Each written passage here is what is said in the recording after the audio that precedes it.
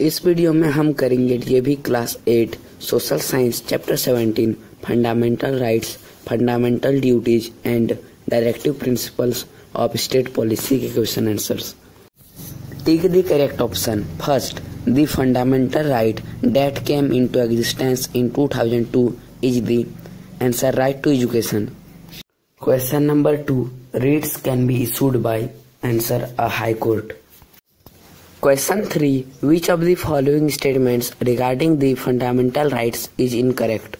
Answer B.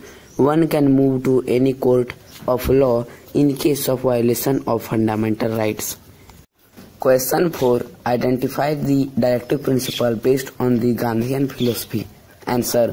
To organize village panchayats. Question 5. Which one of the following promotes secularism? Answer. Communal harmony. Fill in the blanks. First, the dash guarantees the fundamental rights to all the citizens of India. Answer Constitution.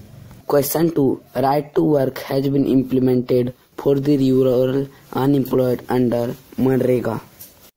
Question 3. The practice of dash has been abolished to pave the way for social equality. Answer Untouchability. Question 4. Sikhs are allowed to keep a kirpan with them as a dash symbol. Answer religious. Question 5. Freedom of dash does not mean that there is no check at all on your religious activities. Answer religion. Match the following. First, secularism promotes harmony. Abolition of untouchability, right to equality. Fundamental duties, 42 Amendment. Warranto, the writ. Directive Principles of State Policy, non-justiciable. D part, question first. Explain the significance of the fundamental rights in our day-to-day life. Answer. Fundamental rights are included in the Constitution as they are considered an essential for the development of the personality of every individual and also to safeguard democracy in a country. Question 2. Explain the right to freedom of religion. Answer. Right to freedom of religion include the following. Right to profess, practice and propagate any religion. Freedom to every religious institution to manage its own affairs in matters of religion. Question 3. The fundamental rights are justiciable and are protected by the court. In the light of the above statement, explain the right to constitutional remedies. Answer. The right to constitutional remedies guarantees the implementation of the all other five fundamental rights.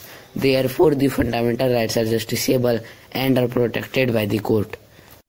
Question 4th. Mention any three directive principles of state policy that have been implemented. Answer. Three directive principles of state policy that have been implemented are right to education has become a fundamental right Environment Protection Act and Wildlife Protection Acts have been passed. National Commission for the Welfare of Women has been established.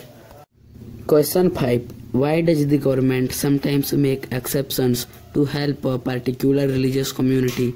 Justify your answer with examples from recent times. Answer. The government sometimes make exceptions to help a particular religious community. For example, the minorities are given assistance to stabilize their own educational institutions to preserve and develop their culture. E-type question first. Explain five provisions given under the right to equality. Answer. Five provisions given under the right to equality are equality before law, prohibition of discrimination on grounds of religion, caste, place of birth, etc. Third, equality of opportunity in matters of public employment, abolition of untouchability, abolition of titles. Question number 2. Our fundamental rights are not absolute or unlimited. Support this statement by giving any five suitable examples. Answer. Our fundamental rights are not absolute or unlimited. It has some reasonable limitations. Five examples are free movement of the people can be restricted during pandemics.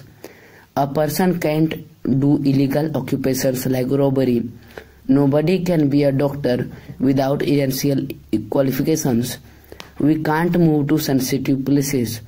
We can't speak anything which disturbs people's peace or harmony. Question third. Classify directive principles of state policy into four main categories. Explain each of them briefly. Answer. Directive principles of state policy is divided into following categories. Economic principles. To secure, secure equal pay for equal work for both men and women. To provide adequate means of livelihood for all. Social principles to make efforts to raise the standard of living and public health, to guard children against exploitation and moral degradation. Gandhian principles to organize village panchayats, to promote cottage industries. D. Principles related to international peace and security, to maintain just and honorable relations between nations to promote international peace and security. Question 4. Highlight the main provisions of the right to freedom. Answer. Main provisions of the right to freedom are freedom of speech and expression, freedom to assemble peacefully and without arms, freedom to form associations and unions, freedom to move freely throughout the territory of India, freedom to reside and settle in any part of India, freedom to practice any profession. Question 5. In spite of freedom of religion, why does communal tension persist in certain parts of the country times? Suggest ways and means to stabilize communal harmony. Answer. In spite of freedom of religion, sometimes communal tension persists in certain parts of the country because of criminal activities of antisocial elements. Communal harmony can be restored by mutual cooperation and by talking with each other to resolve disputes.